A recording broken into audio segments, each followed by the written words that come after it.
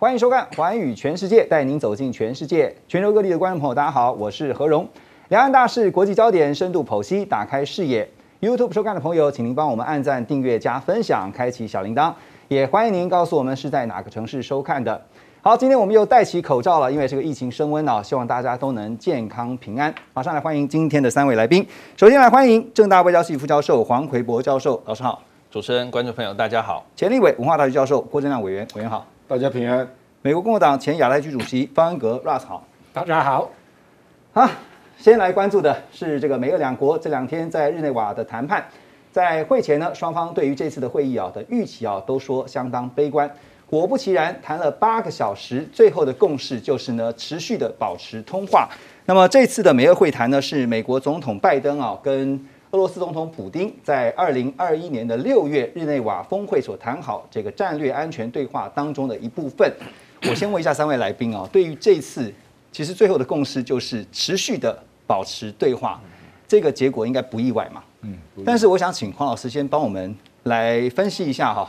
我想问的第一个问题是说，为什么这次先派出来的是副手，而不是双方的主将？嗯。会前大家其实已经预期到这个深水区啊，嗯，这个绝对很难度过的啦。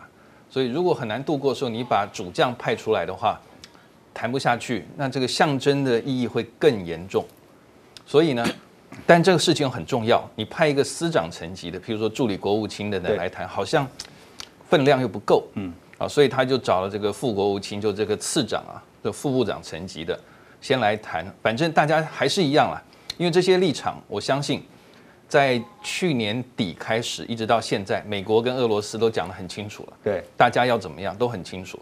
所以呢，先让这个二把手，嗯，先来谈一谈，然后谈完之后一定没有什么结果。但是呢，说不定二把手可以，因为他们经验也比较老道了，也可能从中间可以找到一些这个双方可以有点交集的地方。对，好，那再来就是说，为什么找二把手呢？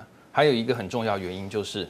布林肯啊，他在去年的时候跟俄罗斯的外长拉夫罗夫，其实至少见过两次的重要会面。第一次是在五月的时候，啊，那时候五月他们两两方分这个在冰岛见面，在冰岛见面呢，气氛堪称融洽。嗯，好，大家谈了很多问题，包括我们可以台面上看到的伊朗核武、朝鲜半岛核武，或者是阿富汗问题，还有联合全面行动计划等等，都谈了。嗯，大家都觉得嗯很正面，然后。俄罗斯来说很有具有建设性，这是他们官方媒体讲的啊。但是呢，第二次就是十二月初，在欧安组织的这个会议的旁边，他们两边见面，见面了，结果气氛很不好。嗯，气氛很不好之外呢，而且俄罗斯说你要应该回到我们过去之前沟通的管道，对，不要像川普那样子。嗯，但是布林肯呢，双方啊，还有这个拉夫罗夫双方又互相指责，我们参加欧安组织的会议，但是你的行动。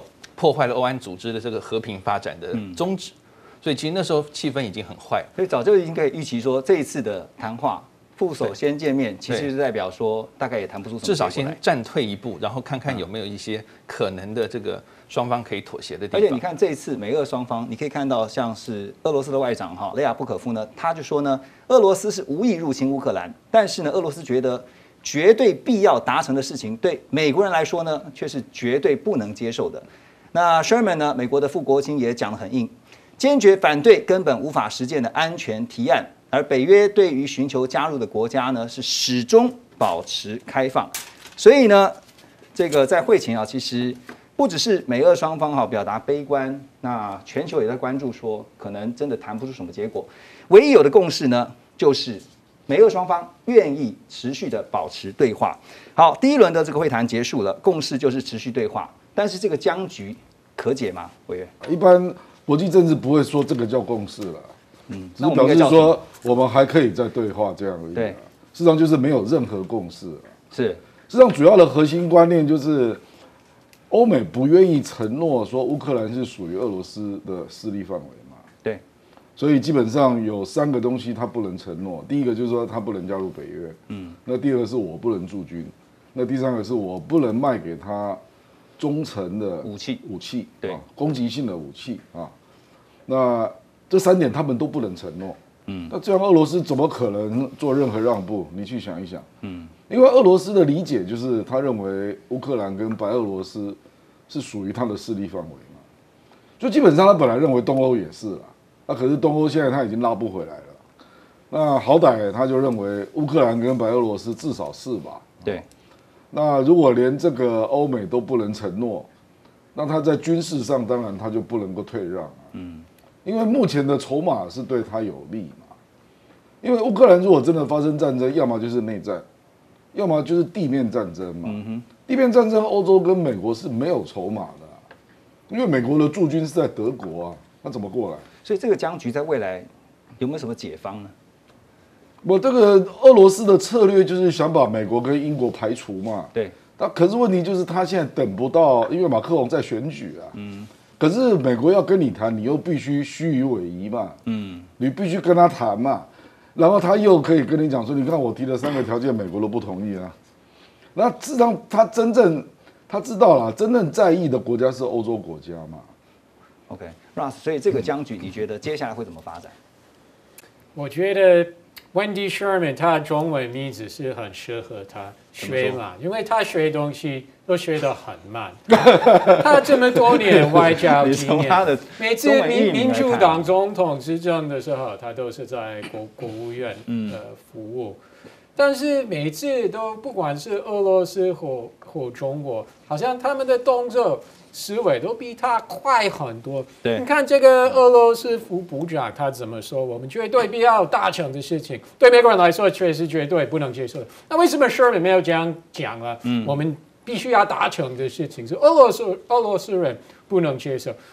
他就讲这个，我们始终始终保持这个开放的态度，但是这个也没有说我们一定会让 Georgia 或 Ukraine 加入北约，我们都知道不会啊。这个，所以呢，哎，好像美国这个团队是跟去年接触中国一模一样，他们会讲很多漂亮的话，但是讲的比是较模糊一点，但实质的动作还是在对方，不管是中国和俄罗斯，所以这个呃，虽然大部分我想美国人大部分还是会看美国国内内政的问题，尤其是疫情啊，但是只要是看外交，呃，这个团队是这么做外交，呃，很多人会越来越失望。那当然，共和党国会议员会批评，不管怎么样就会批评啊。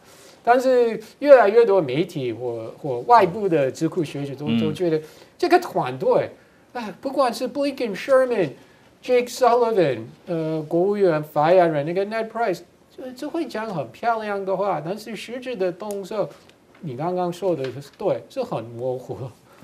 不过 Russ，我进一步请教你啊，因为这次会谈除了俄乌的冲突之外呢，美方也表示哈，他们愿意针对恢复中程飞弹的条约跟俄罗斯协商，那么也希望哈对等限制军演规模，而且提高演习的透明度。不过呢，俄罗斯方面的态度是对于这个提案啊是表示怀疑的哈。那现在你看，美国在这次会谈当中突然呢讲到了俄乌的这个危机呢，现在又突然提出他们愿意恢复中程飞弹条约的议题，但俄罗斯会买单吗？可能性不大。呃，这个他们可以谈，我们都知道，而且我节目常常说，民主党、他们经营外交很喜欢有很多不同的平台对谈、对话、谈判等等，对他们来说，就是已经算是一个一个一个成果，一个一种成绩了。对，但是在目前的不管是中俄关系情况之下，或美国参议院的这个五十五十的这个情况之下，甚至今年底会美国中期选举，我们不知道会有什么样的变化。怎么可能一个新的条约会通过美国参议院？真的不可能。俄罗斯也知道，所以最多或许可以有几个 round，会会有有有几次这个谈判，或者有一些不不需要通过参议院的一些短短期性的什么协议，不是条约，或许会有了。但是呃，我想呃，俄罗斯知道呃，我他们可以答应，好，我们继续谈了，因为他们知道不管怎么样，谈多久不会不不可能会。正式成为一个一个送美国参议员的一个条约，甚至不根本不会通过美国参议员。所以呢，美国提其实我觉得是有很多的 risk，但是俄罗斯说好了，我们可以跟你讨论这个。对俄罗斯来讲，没有什么 risk，因为他们知道不管谈多久、多少次，不会变成一个真正的一个条约。而且还有一个关键问题，就是俄罗斯基本上对于北约是缺乏信任的哈，那就继续谈嘛。但是这个谈呢，这次哈我呼应一下嗯 Ross 啊，Ross 的意思是说美国的底线是不清楚的啦，对可是俄罗斯是非常清楚的。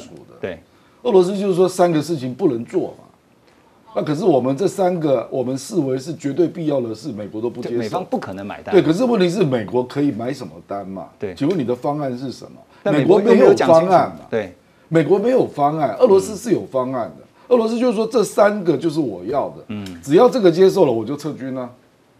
这个是很清楚的方案。对，美国没有方案啊，所以你才会听到很多谣言嘛，什么听说美国要答应哪一条啊，要答应哪一条，那当然都不能证明了啊。对，所以我想 Rose 的意思应该是这样啊。所以就是继续谈谈，但是要怎么谈，就是必须你美国要先答应俄罗斯的条件，不不然你就像川普这样，就直接提出你的条件嘛。嗯，我我觉得他的意思应该不是说用一直用开会来继续开会，就是有进展，不是这样的。哦，你你这边想念川普是吗？也不是啊，我是说想念他的那个外交的手法了。这一次会谈其实也看到他们谈了这个哈萨克的动乱哈，那这个美联社是分析哈，他们是说呢，俄罗斯会趁机巩固哈萨克总统的威信，然后呢削弱跟乌克兰这个总统之间的关系哈。但是呢，美国众院这个军事委员会共和党的议员叫做 Green。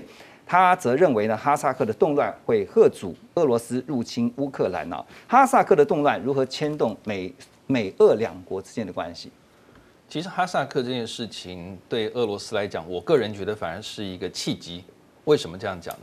因为哈萨克的动乱，以俄罗斯的军队的实力派进去之后，要我们都看到新闻说格杀勿论嘛，对，对不对？以俄罗斯军队的实力，如果又格杀勿论的话，对普京来讲，这个任务不难呢、对，不难，而且呢，他只帮助了哈萨克，哈萨克未来跟俄罗斯的关系只会目前而讲来讲会更接近，所以对普京来讲，他的这个哈萨克这一着棋啊，其实当然一开始的动乱对好像对俄罗斯跟周边的关系好像有一点点危险，但是当这个集体安全组织决定要派军进去的时候，其实我觉得普京他的这个快刀斩乱麻其实是让他在这一盘棋里面得了一个先手。嗯，那另外呢，我觉得说他因为面对了乌克兰的这个东边边境的危机啊，普京这样子断然决然的派军队进去维持和平，其实也秀出他的肌肉，还有他的决心给西方国家，包括美国看。对，我需要的时候我就会做。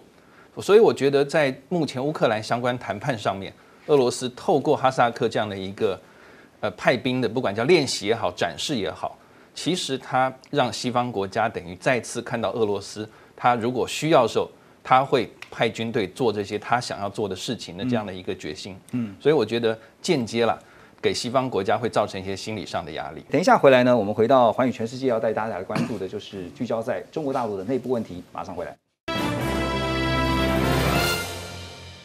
到环宇全世界，聚焦中国大陆。世界日报的分析，在今年二零二二十月，中共召开二十大之前，大陆国家主席，也就是中共总书记习近平的首要工作就是防乱防变，不希望看到任何的黑天鹅或是黑呃灰犀牛啊。那么因此呢，可以预期到的是，中国大陆在今年对于社会控制上面可能会收得更紧。请教委员两个问题啊，第一个到二十大以前，呃，大陆内部主要的针对这个防乱防变哈，会是针对哪几个主要的方面？第二个，那中央的政策会不会因此而有什么样的变化？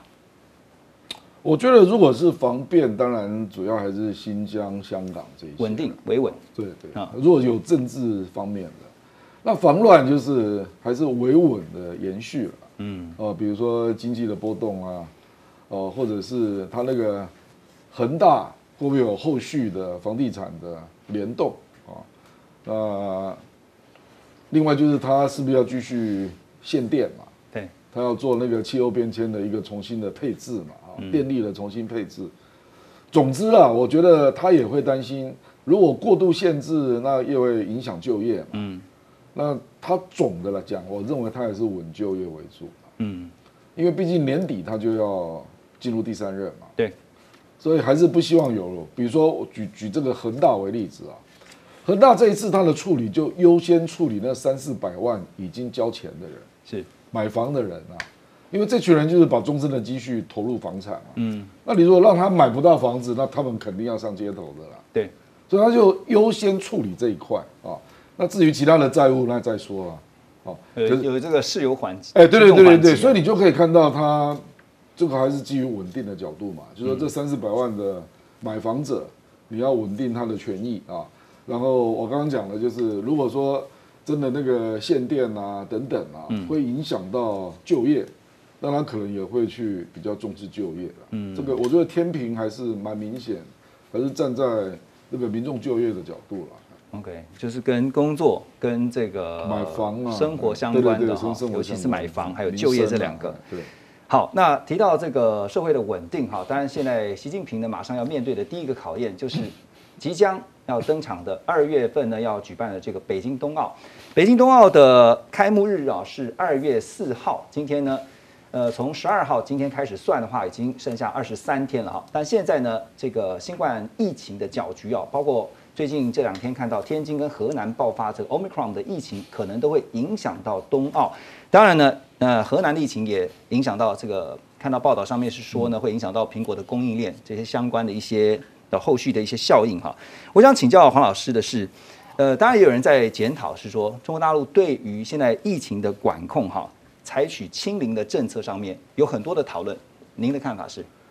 清零其实真的很困难啊！全世界就我们新闻看得到的啦，这追求清零的，这海峡两岸好像变兄弟了。对，台湾其实也是啊。还有香港，对，然后香港因为算中国大陆一部分好了。其实你觉得清零真的是一个理想啊？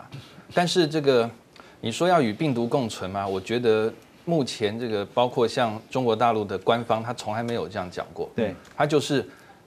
也就是格杀勿论嘛，跟刚刚哈萨克那个我们讨论有点像，有病毒就一定把它封锁，严格管控。对啊，所以我觉得这清零政策，既然中国大陆它现在也知道它这个几乎没有什么回头路，或者目前没有它放出这个转环的风声啊，嗯，所以我觉得这个清零的政策大概只会继续下去。我我快速问一下三位来宾哈，就是说北京冬奥现在已经呃举办在即了，那当然之前东京奥运就是日本曾经因为哦这个这个疫情的关系哈，这个顺延了一年，北京奥运有可能会停办吗？用圈插牌来快速告诉我们一下您的观察。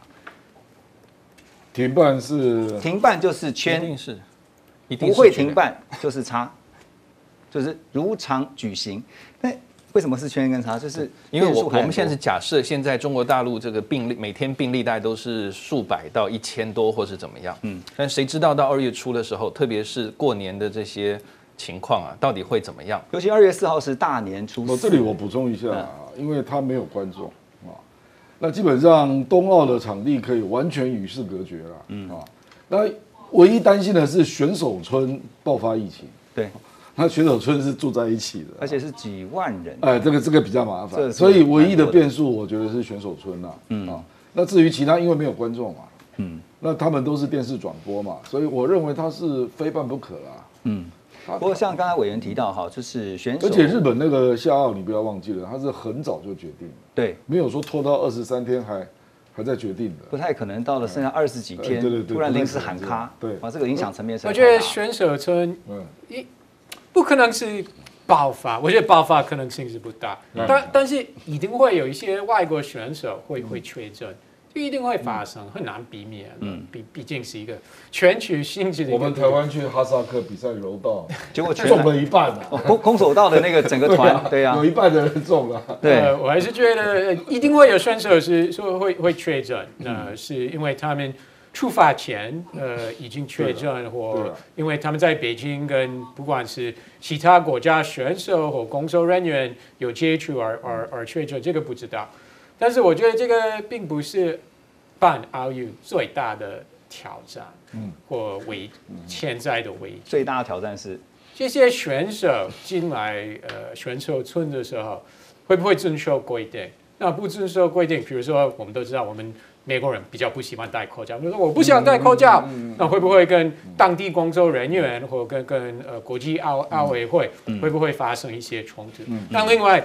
这些选手会不会趁机批评中国？那这个当然，如果他们在北京的时候讲一些个属于政治性质的呃言语了，那当然会让中国很很很很很不满意。那另外是国际媒体一样啊，他们在北京的时候播报呃呃奥运的时候。会不会呃，另外讨论到一些比较比较敏感的议题，比如说西藏呃新疆西藏呃人权、宗教自由等等，这个对中国来说，我觉得是比较大的 risk。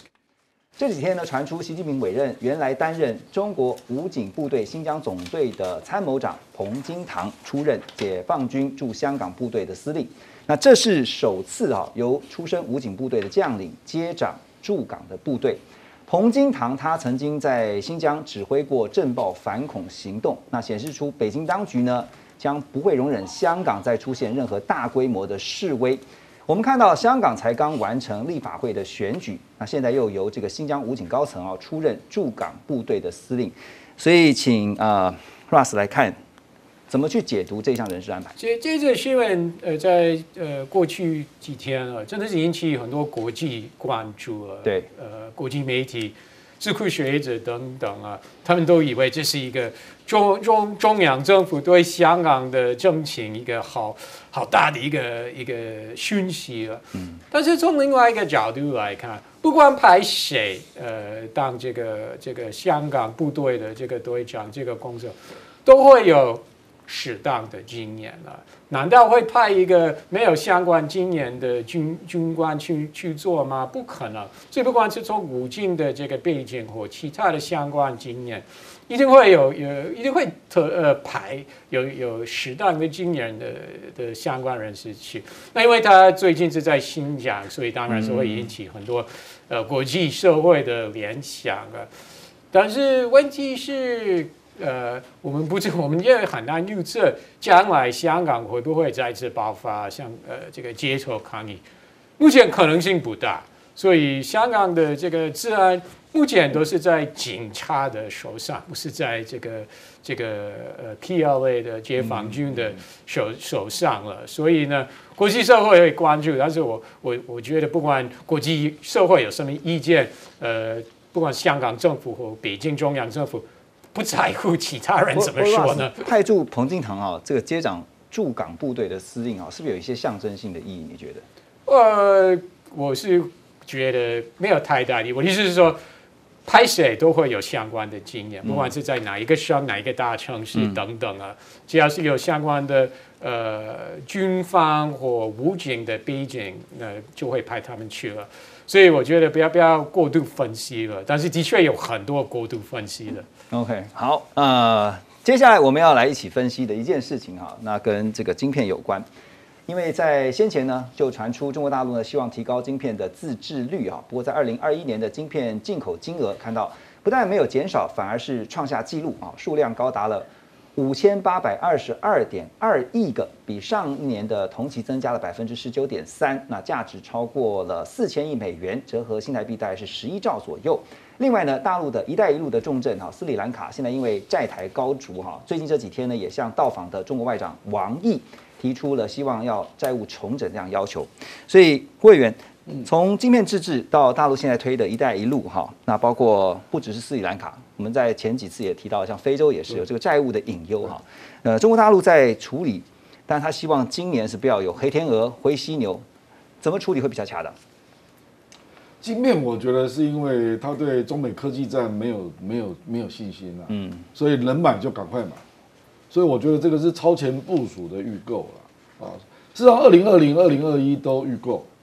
都超前了，就等于他一边部署，一边也在加强自己。我觉得，比如说台积电就大卖嘛，对，大卖那中国大陆嘛，嗯，那他就是你有多少，他就先吃了，是。因为他不知道美国哪一天突然把它断了，所以那他的自制率也不会那么快了。说实在的，因为现在二十八寸都不一定做得出来，那再往下，我讲的是大规模量产，对，那更不要说往下到十四寸啊，嗯，哦，更下更下的纳米的层级嘛，嗯，所以他没有办法了。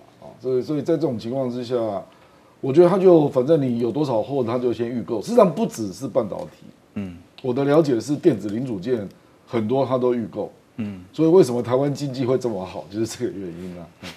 因为因为他是急着跟你下单啊啊，我们韩国也是啦，韩卖国也多，啦。对，那至于那个你说那个外债哈，那有些国家因为经济困难，可能会跳票嘛哈。我觉得这个比较容易处理的，因为那个只是债务重整的问题，就重签约嘛啊，那或者用其他的方式来给付哦哦，或者增加抵押品，对或者那个约来重签嘛。我觉得这个并不难啊，并不难。嗯，Russ 你觉得呢？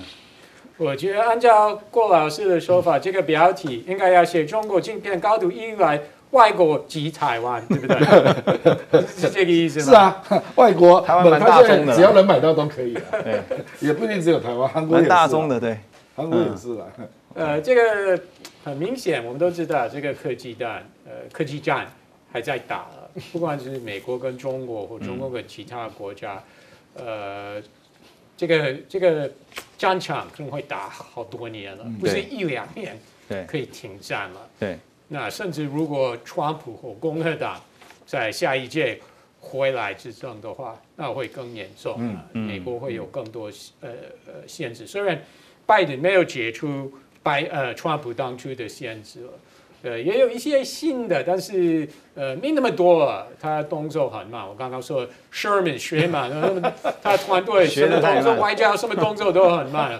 呃，所以所以虽然目前呃新的呃制裁限制等等，不像川普最后一两年那么多那么频繁了，嗯，呃，但是呃已经现有的限制也不会解除了，嗯，那这个这个问题会持续下去了。或许台湾是成为一个赢家。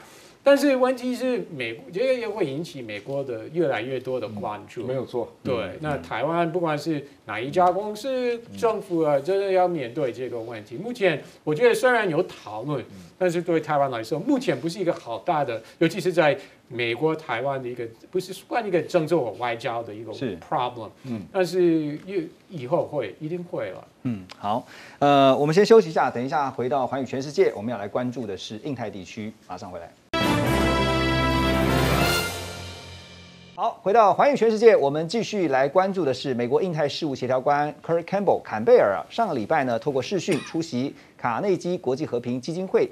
那么在当中呢，他表示，二零二二美国将会在经贸的区域啊，跟整个印太地区进行全面性的接触。那可能呢，就是拜登在二零二一年十月提到的这个印太经济架构。呃，二零二一年。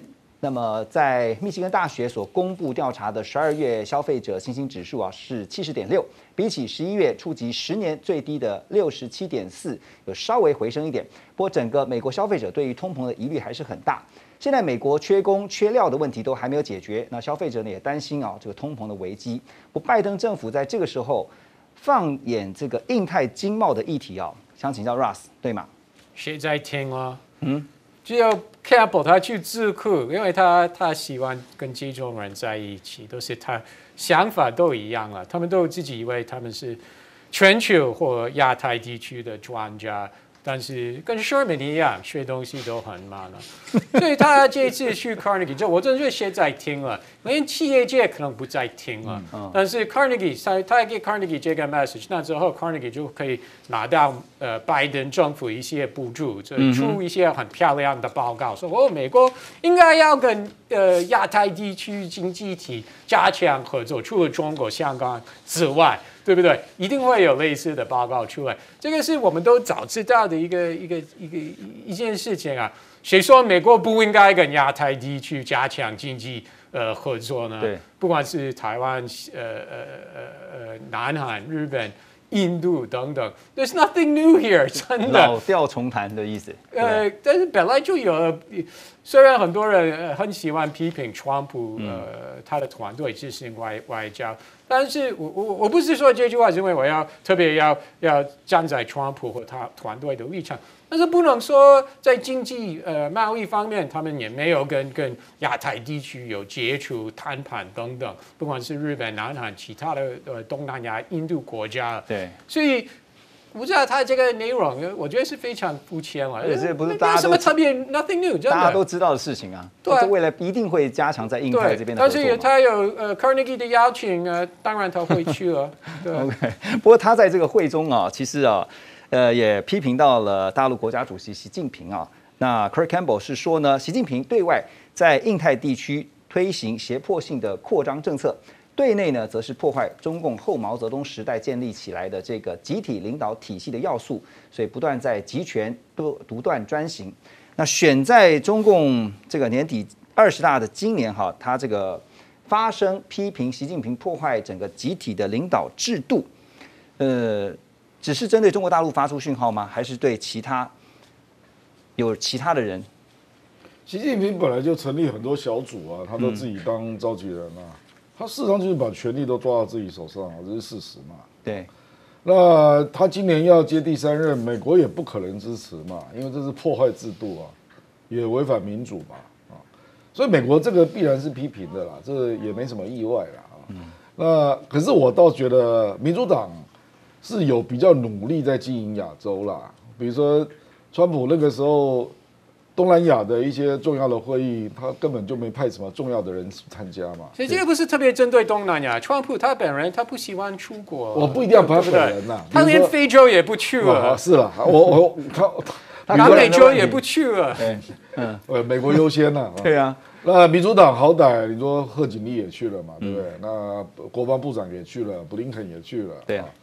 就是他试图就是要重建多边组织了。川普确实不喜欢多边组织了，嗯，那就是刚刚那个 Ross 讲的嘛，就是印太经济架构今年一定会搭建起来，那就是会对中国的科技的防堵，我觉得会做进一步的要求了，嗯，所以我们台湾还有日本、韩国都会被拉进去了，嗯，哦，所以他说以后一定会关注台湾的这个架构起来之后，你就知道了。所以这个 Kirk Campbell 最近也占据蛮多台湾的媒体的版面啊。这个 Kirk Campbell 最近，呃，在这个华府战略跟国际研究中心举办的这个活动当中，他就表示啊，也被媒体做成了标题，他说，呃，未来呢，太平洋地区是世界上最有可能会出现战略意外的地区，而且呢，美国在太平洋地区啊，他认为做的还不够。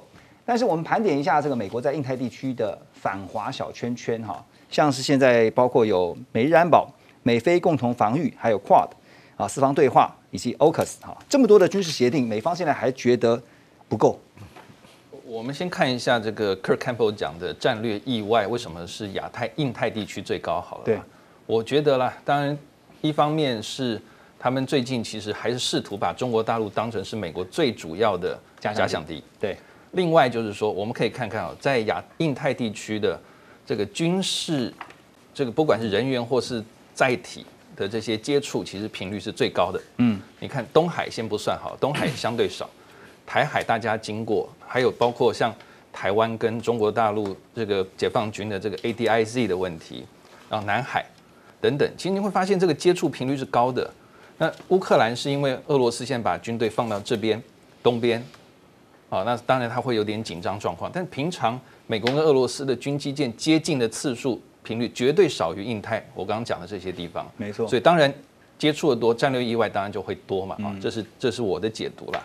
另外就是说，刚才讲到这个所谓的反华小圈圈啊，其实我们还忘记了美国跟韩国还有一个这个共同防御的条约。对，我们刚刚讲了这么多，还 有还有一个所以你说美国做的够不够？嗯，我觉得真的其实以军事来讲已经蛮够的了，啊，当然美国它需要的是它在印太有更多的可以穿透中国大陆这个反介质、这这反区反反区域进入的这些的这个能力啊，美国其实是这个是不够，嗯，但是美国要维持一定的贺阻能力，我觉得目前是可以的，啊，但是它的还不够，我我觉得这个是相对的一个概念了啊，嗯。那另外，我觉得美国其实做的还不够，其实是在外交跟经济上面。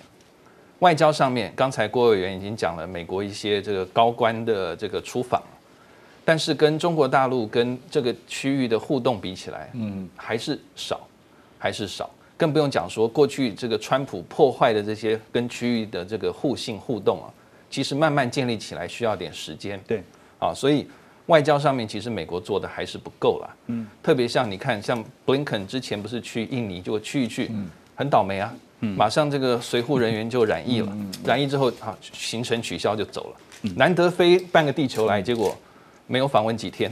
方老师，我另外一个问题就是说，我快速问您一下，就是说，那这么多个反华小圈圈，这样多更多不会造成更多的战略意外吗？它的反华小圈圈，如果在军事上面的话，我们现在已经大概知道，就是我们前面讲的那些。对啊，对。但是现在是说，它在外交上面呢，跟北京互别苗头。那当然，这个会让双方的互信，还有未来对对方的行动的判断，嗯，会有所影响。嗯。那另外，其实还有我们刚刚一开这个这一段一开始讲到这个所谓的这个印太经济架构，这到底是什么？是反制“一带一路”的东西吗？还是说是要去压制？RCEP 的这未来可能对于美国或者是这个美国的盟邦在这个区域所造成的影响不清楚。这个我可以回答了，嗯，这个很简单，只有 Kirk Campbell 知道。所以呢，他这样讲，他这样讲是因为他在准备，不管他在拜登团队做多久，他离开之后就会开顾问公司或回到智库，一定会赚钱，因为他会向企业界说。你要了解呃这个刚刚这个构想，对，哦，你要来问我，对不对？因为构想本来是他的，对不对？所以这些都是为了赚钱，好不好？我觉得 Russ 好像 Kirk Campbell 的肚子里的蛔虫一样。好，那这个台海的局势的发展，当然牵动到的是中美之间的博弈哈，当然也是台湾的敏感神经啦。来看到这个前国安会秘书长丁玉洲，他提醒说呢，他说台湾在美国人的心目当中哈，地位是随时都会在变的。美国跟中国大陆的关系紧张的时候呢，台湾的价值就高。但现在啊，就像现在一样，但是美中关系一旦和缓的话，台湾就根本没有价值哈。Russ 怎么看他这段话？台湾的这个经济的安全或国防安全等等，真的是由台湾人确定，不是交给美国，也不是交给日本，也不是交给中国呃，所以不能说他他这个言言言论是完全没有。没有道理，我完全没有依据。但是我觉得在台湾，呃，很多人不想听了，对他们比较想避免这个问题。对，究竟台湾的地位跟角色，在美国的心目当中，不因为你前面讲那个亚洲的那些反华小圈圈哈，对，坦白讲，他们也都跟中国大陆保持关系啊。嗯，比如说今年五月之前，如果 Morrison 下台了，那澳洲轮到工党上台呢？那你认为澳大利亚还会跟美国搞 AUKUS 吗？哦，因为那个都要到二零四零年呢，工党支持吗？所以我的意思是说，恐怕美国这一些它的基础都是不是很稳定的啦。嗯，甚至连印度，印度也没有这么跟中国完全就是死磕啊，也没有这样的关系啊。那更不要讲韩国跟菲律宾嘛，韩国跟菲律宾事实上是亲中的。对，他之所以被纳入这些共同防御条约，是他们不方便退出啊。哦，所以我觉得你应该从这个角度去看啊，就是说，台湾大概是整个亚洲以目前状况唯一一面倒向美国的啦，这个才是问题啦。那倒不是说谁是棋子，嗯，因为亚洲没有国家会认为他自己是棋子啊。比如说菲律宾，我们国力也比菲律宾强啊，嗯，可是菲律宾不认为他是棋子啊，韩国更不要讲了，他也不是啊。那问题是，台台湾的外交是一面倒向美国嘛？所以如果在这个才是台湾自己的问题嘛？喂，那如果在今年的话，您觉得说这样一面倒向美国的策略是不是应该有所调整呢？我就很困难嘛，因为民进党的思维就是这样嘛。嗯，那可是他这样的思维是有问题的嘛？不然为什么亚洲国家都没有这样做？嗯哼，嗯哼。好，呃，等一下呢，回到环宇全世界，那么我们继续要来关注啊是另外一个议题啊，也就是这个气候的议题。现在包括了荷兰。还有，特别是在欧洲哈，已经投入了非常大的资金在因应气候议题。我们马上回来。好，回到环宇全世界，我们继续带您关注的是荷兰总理吕特第四任的联合政府，在这两天宣誓就职，他们也宣布呢，将会在对抗气候变迁上面要投入三百五十亿欧元，折合台币大概是一点一兆。那一月呢，才刚接任这个欧盟轮值主席的法国呢，也宣布要砸三百亿欧元，用在落实气候的这个变迁的对抗的目标上面。好，那现在看到荷兰跟欧盟哈都砸下重金要处理面对气候的议题。现在为什么欧洲会变成是把气候议题当成他们的主要的首要的要解决的问题之一呢？喂，因为他们达标的机会最大。嗯，所以到最后他们会用实际行动来表达，他是气候变迁这个议题的真正的领头者了。主导者。知道你这里面还没有提到北欧嘞，瑞典还提前五年要达标，对，二零四五就要碳中和，哦，所以我北欧很多国家都是这样啊，嗯，就是它的碳的那个指数都是最低的。其实从历史上面也是看到，因为他们做很重视环保。坦白讲，他做很久。对，那美国是因为不同政党就反复嘛，啊。所以它当然在进度上就会落后欧洲嘛。嗯，那这里面会有很多制度，我觉得欧盟很快会就变成制度了。比如说什么样的东西不能够进口到欧盟，或者它的碳税啊、碳交易税，甚至包括天然气，我们讲甲烷，对，它会不会针对甲烷做一个，比如说交易税或碳甲甲烷税的处理？我们现在还不知道啊。可是我觉得可可能有很多制度创新都会从欧洲这边出来，建立一套标准出来是对，因为如果连法国都跟进，荷兰也跟进，那德国本来就这样了，还有北欧国家，嗯，那大概这些就是欧洲的主要国家了嘛，嗯。不过您刚刚提到德国哈，因为我们就来看，那跟荷兰、法国发展核电不同 啊，德国新任的这个联邦经济还有气候保护部长绿党籍的哈伯克哈，他会在四月前要公布一系列的措施。这个内容当中包括了强制要求新建筑装设太阳能的屋顶，还有呢绿色清新融资计划，以及在年底要完成啊再生能源法的修订。那另外呢，新政府呢希望在二零三零年之前呢，把这个再生能源的发电比例提高到百分之八十啊。德国希望在十年内要达成百分之八十的这个再生能源，这个目标有可能吗？这个当然是在绿党也在参与执政之后啊，这个推动的一个比较远大的，而且是胆大的一个目标。对，但我们也知道，就是说德国它现在还有六座核电厂嘛，今年要关掉三座，嗯，明年应哎是明年还是今年底，反正另外三座差不多也到期了，嗯哼，也就是说，和德国就说，那我正好把这个六座核电厂的全部就关闭了。那我们也知道了，因为欧洲它这个电网分布的还蛮密的，嗯。所以，就算德国万一真的发生了这些电力短缺的时候，它还可以透过欧洲的电网，其他还可以购买一些。譬如说，法国就一堆核电厂嘛。那法国如果讲电购的话，当然也乐于卖给德国赚点钱。嗯。所以德国这样讲，它的底气是有的，因为它有一些备案，不像台湾就在一个海岛上面，有些天然气断了就断了，所以台湾的风险是比较大。好，那再回到德国，就是德国它把核能视为什么呢？它也不是再生能源，也不是绿能，核能就是核能。德国这个国家，我觉得还蛮奇怪的啊。所以你在跟德国讨论这个核能到底是不应该放不放到你的绿能或者再生能源的这个比例的时候，德国都不是这样算的。对。但是法国就是说核能就是再生能源啊，所以法国的跟德国在这方面其实最近不一样。所以最近欧洲有辩论，对，最近辩论，而且我觉得越来越激烈啊。嗯。好，那。德国的四分之一是用核能，然后另外四分之一大概是用煤炭，百分之四十是再生能源。再生能源，嗯，好，那这有个问题啊，就是因为它要把核电减掉、关闭，所以它必须要现在目前要增加天然气的发电量，所以呢，它天然气取消的这个年限，德国说那我往后延五年好了，二零四零变成二零四五，对，听起来好像很 OK 啊，但是呢，我们不要忘记我们节目一开始讨论的俄罗斯。德国需要更多的天然气的时候，嗯，天然气北海会有，好，但是呢，还有很大一部分是从俄罗斯来的，嗯，所以现在很多战略家在想说，那德国在未来跟俄罗斯的战略关系会怎么样？你要跟俄罗斯关系好才行啊。对，所以那好，不管天然气是不是未来可以继续的推动变成德国的一个蛮主要的发电的能源啊，但是价钱理论上再生能源一定会贵一点，嗯，所以德国他现在也说要把这些能源附加税先取消。让民众这个能源的这个负担不要那么重，所以你看到德国它是有些配套措施，但是我感觉整个的配套措施还没有办法说服我，说德国真的在，比如说二零四零、二零四五会达标到他们的这个整个国家能源发展的要求，我还是有点怀疑。对，而且你看十年内要达成百分之八十再生能源的比例啊，刚才黄老师也提到说，现在是百分之四十嘛，等于几乎是要在一倍啊。那会这样子决定，会是这样子推动呢？当然是因为这个能源的价格，考量到能源价格未来会不断的这个上涨哈。对，不过不过我很快补一下，但你知道科学家有还有一些经济学家预测，再生能源现在是贵的，但是因为当它越来越多之后，它价钱会掉。嗯，那那未来我们只好看嘛。嗯，不过现在真的全球都在面临的是通膨的危机。那这个物价呢，不断的这个飙涨哈。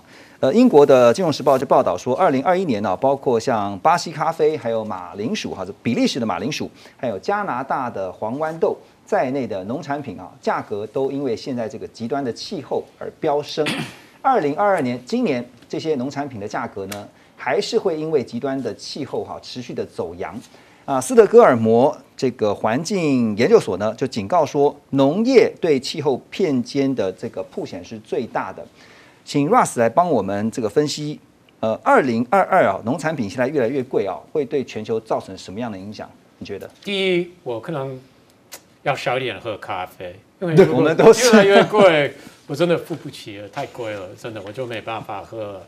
对，但是呃，这个我们刚刚讨论到呃，欧洲，嗯，有是有辩论，郭郭委员说有在辩论，但是还是看起来在欧洲目前呃，大多数主流意见是支持，不管是荷兰、德国。有有类似配套措施，嗯呃，投资这么大的呃金额，但是美国是很不一样，这个我们都知道。保守的选民，共和党选民比较不支持这些相关的措施。当然，在美国，没有人希望呃这个呃农产品会涨价，对对不对？我们都要去呃超市买东西吃了。但是美国这个辩论真的是比比其他的地方嗯还很非常 intense。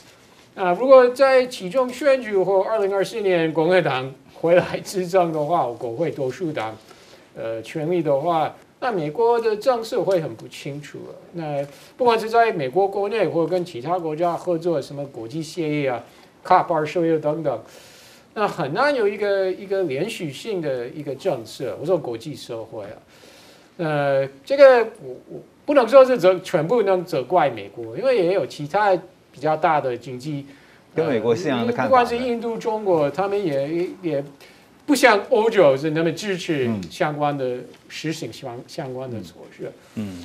所以这个 unfortunately 这个的确是不出一个科学的问题之外，是一个政治的问题，而且对这个政治方面，我想会越来越明显，尤其是今年在美国、或下一届美国总统。我们也不能排除在欧洲，虽然目前好像主流意见是支持这些措施，但是说不定以后，呃，右派的政治人物在欧洲会说，其实我们不需要，我们为什么乱乱乱花这么多钱在这些绿能、再生呃能源等等啊？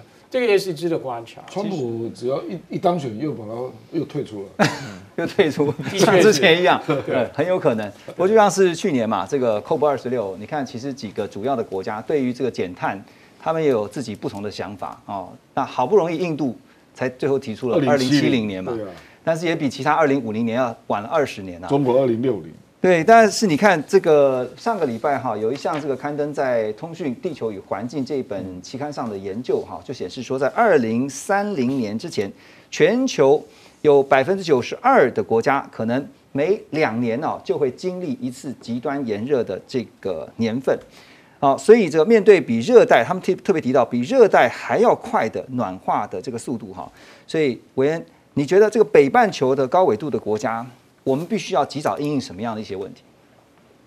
我其实你不能这样分啦，嗯因为粮食危机今年可能会新增两亿人变成饥荒人口嘛，对有这个风险啊。那那这个原因当然很复杂啦。你说极端气候当然是原因之一，嗯，那另外一个就是气候变迁啦，对，因为很多粮食被拿去当做燃料，嗯。尤其是玉米。啊，玉米巴西有百分之四十变成燃料，因为价格比较高。是，所以它当然会还有另外一个，就是对石化能源还有天然气的投资变少，嗯。所以这方面的供应会变少，所以当然能源就会变贵，然后粮食也变贵，肥料也变贵，嗯所以这个不是只有气候因素，至少有人说这个叫绿色风险，绿色我因为你要你要执行这个气候变迁的要求，所以很多东西你就。